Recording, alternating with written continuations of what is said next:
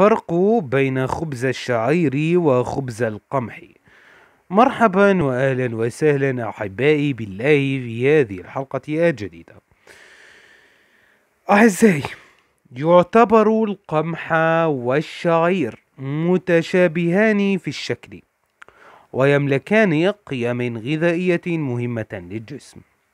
والقمح كما نعلم يتكون من حبوب تحتوي على ثلاث مكونات هي السويداء الداخلية والبذور والنخالة ومنه القمح التي تزال منه البذور والنخالة ومنه الذي يستخدم بأجزائه الثلاثة وبذلك تكون قيمته الغذائية أكبر.